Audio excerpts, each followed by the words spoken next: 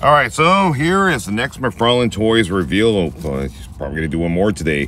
Statue is part of his new Marvel license agreement. Spider-Man from comic cover number six, 110 scale.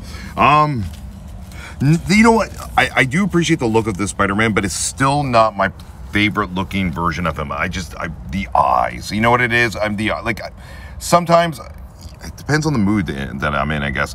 The eyes are just too big. I'm the more standard, classic looking Spider-Man, I guess, but uh, it's a cool pose. It looks it looks really cool. It's just the eyes for me are. I always found these this version of Spider-Man, his eyes just they're way too big, right, for his face. Like covers up his whole mask pretty much. But anyways, drop a comment below. Let us know what you think of this new agreement that McFarlane has with Marvel. Here come out these statues. Are you willing to pick them up or are you guys waiting for more of action figures? This is where it's going to get really interesting, right? So statues versus action figures. What are you guys going to pick up?